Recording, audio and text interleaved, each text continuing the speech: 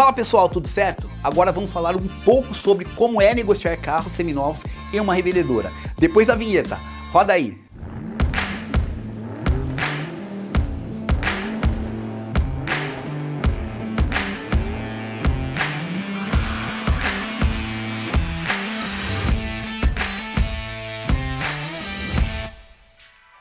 A concessionária ou loja revendedora pessoa jurídica trabalha no intermédio de duas pessoas físicas, o vendedor e o comprador.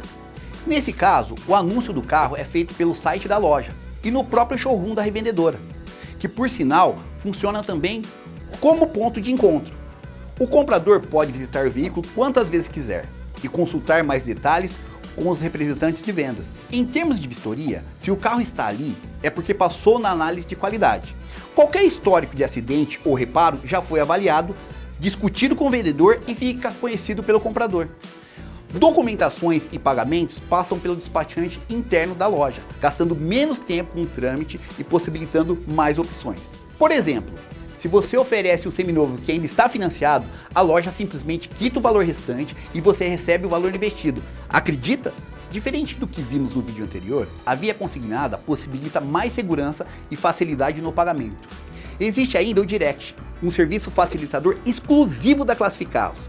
Como no particular, o vendedor fica com seu carro, define o valor de venda negocia diretamente com os interessados, enquanto que nós cuidamos de anunciar profissionalmente, servir como local de encontro seguro, gerenciar trocas ou pedidos de financiamento. Em resumo, a função da revendedora é garantir proteção de todas as partes nos pontos que mais precisam ser seguros, um anúncio confiável e um local de encontro protegido.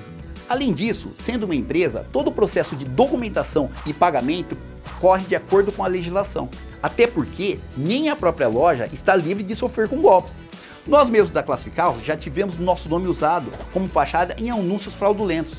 Os compradores eram atraídos por um preço muito vantajoso, acreditando negociar conosco, que temos reputação e confiança de anos no mercado. Mas na verdade falavam com estelionatários. A parte boa nisso tudo é que basta se atentar ao que vimos aqui, para ficar longe de situações como essa. Então, fique ligado nessas e outras dicas que estão por vir e boas negociações.